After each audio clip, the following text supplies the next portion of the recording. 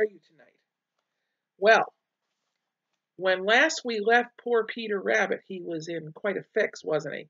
He had a wire around his leg, and attached to the wire was a wooden stake, and he was being chased by Bowser the Hound.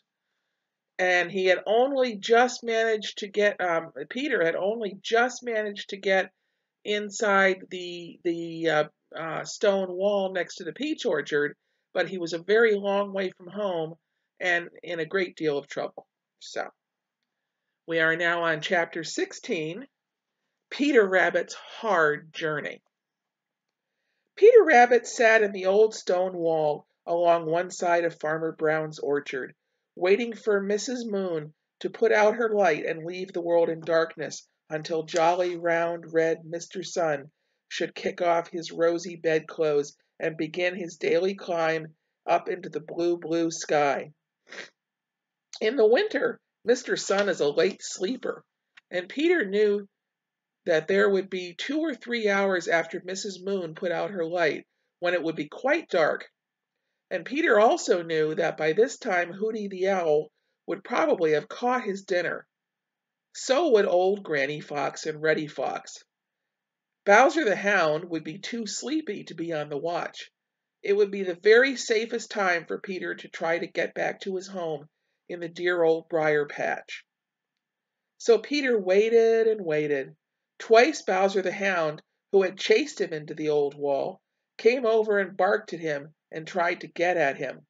But the old wall kept Peter safe, and Bowser gave it up. And all the time Peter sat, sat waiting, he was in great pain. You see, that shiny wire was drawn so tight that it cut into his flesh and hurt dreadfully. And to the other end of the wire was fastened a piece of wood, part of the stake to which the snare had been made fast and which Peter had managed to gnaw and break off. It was on account of this that Peter was waiting for Mrs. Moon to put out her light. He knew that with that stake dragging after him, he would have to go very slowly, and he could not risk run any more risk of danger than he actually had to. So he waited and waited, and by and by, sure enough, Mrs. Moon put out her light. Peter waited a little longer, listening with all his might. Everything was still. Then Peter crept out of the old stone wall. right away, trouble began. The stake dragging at the end of the wire fast to his leg caught among the stones and pulled Peter up short. Oh my, how it did hurt! It made the tears come. But Peter shut his teeth hard, and turning back, he worked until he got the stake free. Then he started on once more, dragging the stake after him. Very slowly across the orchard and under the fence on the other side crept Peter Rabbit his legs so stiff and sore that he could hardly touch it to the snow, and all the time dragging that piece of stake, which seemed to grow heavier and harder to drag every minute. Peter did not dare to go out across the open fields, for fear some danger might happen along, and he would have no place to hide. So he crept along close to the fences where bushes grew, grow, and this made it very, very hard for the dragging stake was forever catching on the bushes with a yank at the sore leg, which brought Peter up short with a squeal of pain. That was bad enough, but all the time Peter was filled with a dreadful fear that Hooty the Owl or Granny the Fox might just happen along. He had to stop to rest very, very often, and then he would listen and listen. Over and over again he said to himself, Oh dear, Whatever did I go up to the young peach orchard for when I knew I had no business there? Why couldn't I have been content with all the good things that were mine in the green forest and on the green meadows? Oh dear, oh dear. Just as jolly, round, red Mr. Mr. Sun began to light up the green meadows, Peter Rabbit reached the dear old briar patch. Danny Meadow Mouse was sitting on the edge of it anxiously watching for him. Peter crawled up and started to creep in along one of his little private paths. He got in himself, but the dragging stake caught among the brambles, and Peter just fell down in the snow right where he was. too tired and worn out to move. Chapter 17 Danny Meadow Mouse becomes worried.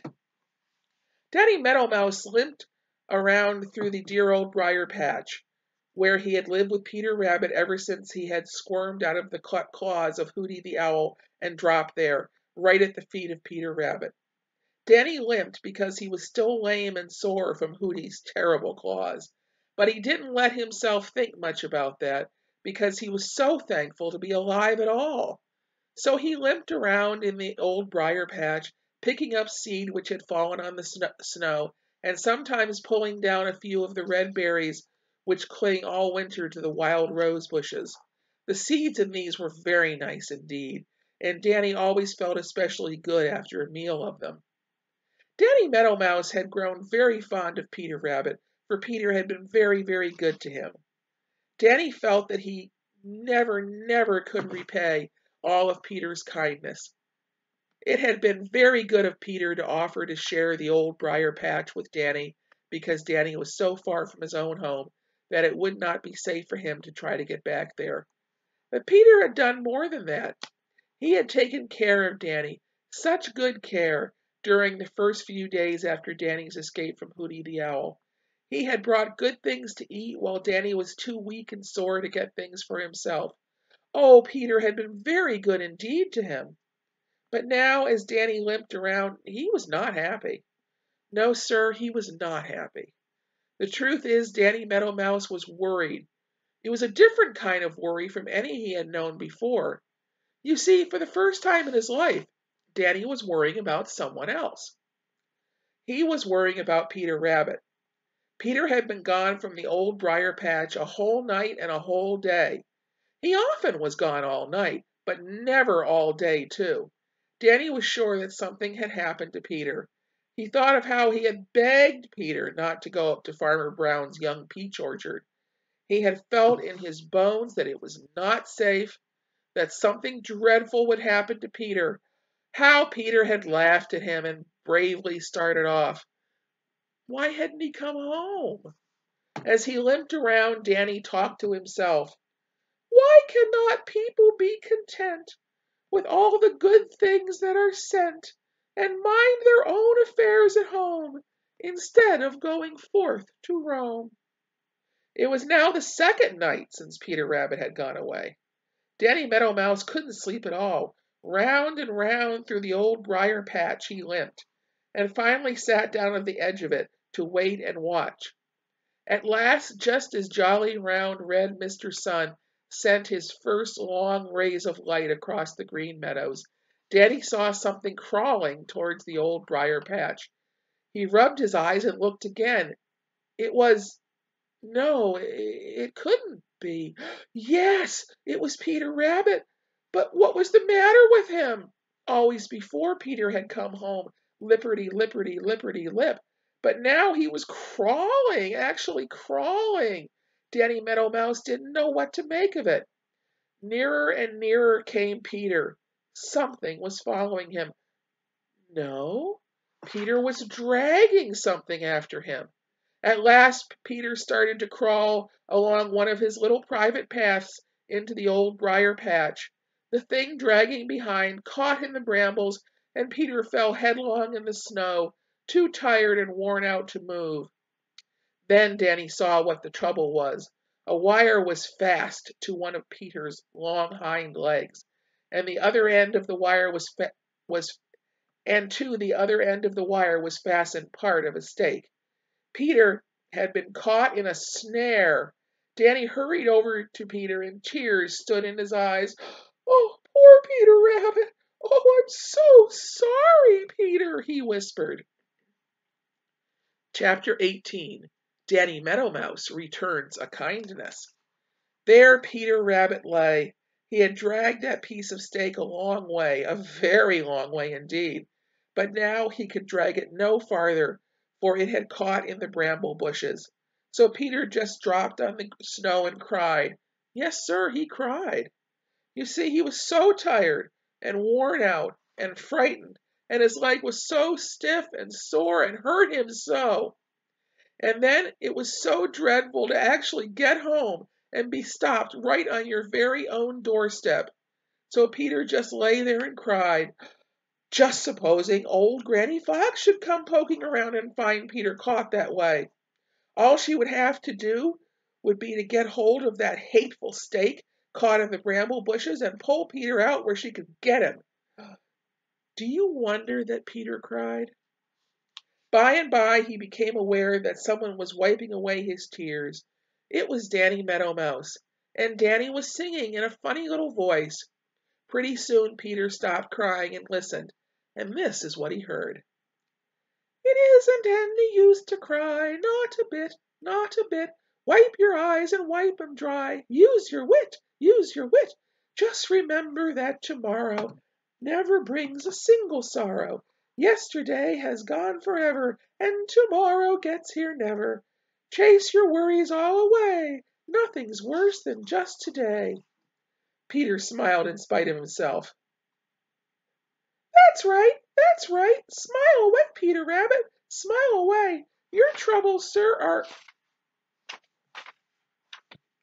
are all today, and between you and me, I don't believe they are so bad as you think they are. Now, you just you lie still just where you are while I go see what can be done. With that, off whisked Danny Meadow Mouse as spry as you please, in spite of his lame leg.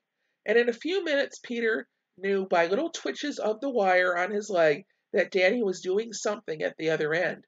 He was. Danny Meadow Mouse had set out to gnaw that piece of stake all to splinters. So there he sat and gnawed and gnawed and gnawed. Jolly, round, red Mr. Sun climbed higher and higher in the sky, and Danny Meadow Mouse grew hungry. But still he kept right on gnawing at that bothersome stake. And here's a picture of um, of poor Peter Rabbit with the with the wire around his leg, and the captions and Danny Meadow Mouse is gnawing at the stake, and the caption says Danny Meadow Mouse had set out to gnaw that piece of stake all to splinters.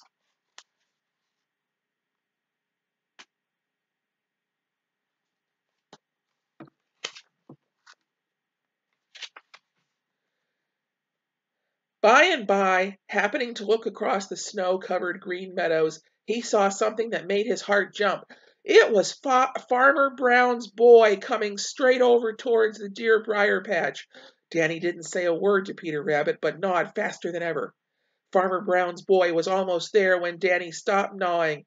There was only a tiny piece of the stake left now, and Danny hurried to tell Peter that there was nothing to stop him now from going to his most secret retreat in the very heart of the old briar patch. While Peter slowly dragged his way along, Danny trotted behind to see that the wire did not catch on the bushes. They had safely reached Peter Rabbit's secretest retreat when Farmer Brown's boy came up to the edge of the dear old briar patch. So this is where that rabbit that killed our peach tree lives, said he. We'll try a few snares and put you out of your mischief and for the rest of the afternoon Farmer Brown's boy was very busy around the edge of the old briar patch. Well, let's stop there and, and uh, we'll pick up next time with um, uh, chapter 19 Peter Rabbit and Danny Meadow Mouse live high. Well, that sounds promising, doesn't it? Although Farmer Brown's boy is setting all those snares. I wonder how that's going to turn out. We'll see the next time.